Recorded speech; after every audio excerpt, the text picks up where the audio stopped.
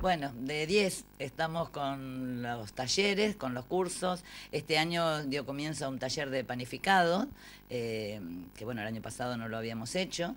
el taller de panificado eh, está el cupo completo y además quiero decirles a todos que hicimos una página de Facebook en, del SIC, se llama Centro Integrador Comunitario Mercedes, eh, es abierto al público, así que cualquiera puede seguir, o sea, ya que hoy por hoy las redes sociales eh, todo el mundo las maneja o la mayoría.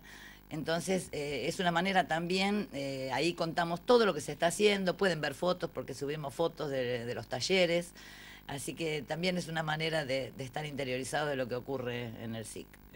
Cuando se dan este tipo de talleres, principalmente se trata de gente de los barrios aledaños.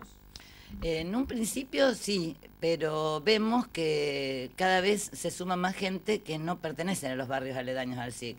Eh, viene gente de, distintos puntos de la ciudad, pero bueno, eh, conforme con lo que acá se les brinda, eh, además que es totalmente gratuito. porque sabemos que los capacitadores de los talleres son todos solventados por el municipio. Así que, y a la persona que viene a realizarlo no tiene que pagar nada. Bien, la última, eh, usted está a cargo de, este espacio, eh, ¿tiene la idea, eh, la, proyección de sumarle nuevas actividades? ¿Lo charla con el intendente? bueno, estamos constantemente queriendo sumar actividades. también tenemos que ver del espacio físico que disponemos y bueno, hoy por hoy los talleres que, que tenemos nos están ocupando todos los espacios físicos que tenemos para hacerlo. va quedando chico. Va quedando chico el SIC.